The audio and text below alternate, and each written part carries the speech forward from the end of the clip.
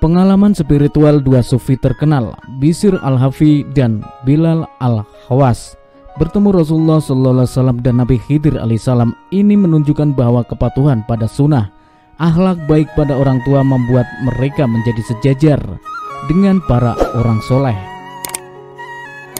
Bisir Al-Hafi adalah seorang sufi yang tinggal di Baghdad. Beliau adalah ulama dan sufi yang cukup terkenal di zamannya dalam suatu kesempatan, beliau menceritakan pengalaman mimpinya bertemu Rasulullah Sallallahu Alaihi Wasallam.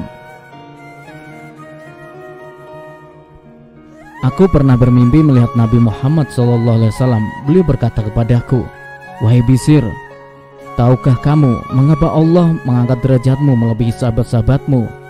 Aku lalu menjawab, aku tidak tahu ya Rasulullah.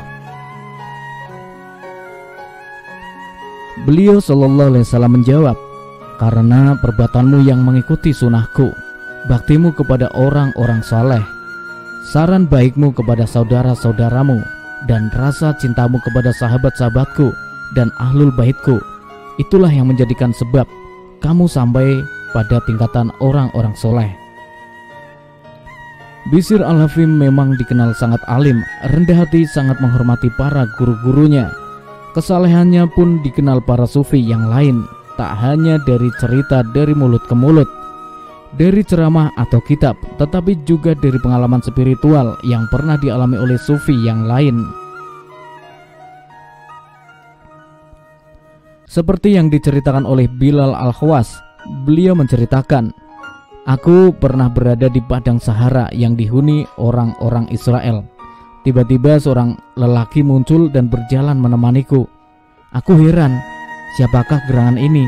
Tidak berapa lama kemudian, aku diberi ilham bahwa laki-laki itu adalah Nabi Khidir alaihissalam.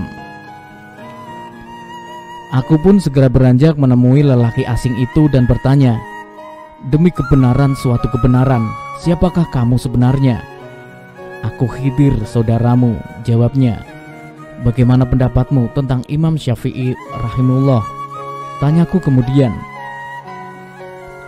Dia adalah termasuk pemelihara agama, jawab Nabi Khidir. Bagaimana pendapatmu tentang Imam Ahmad bin Hanbal? Dia seorang sidik, jawab Khidir.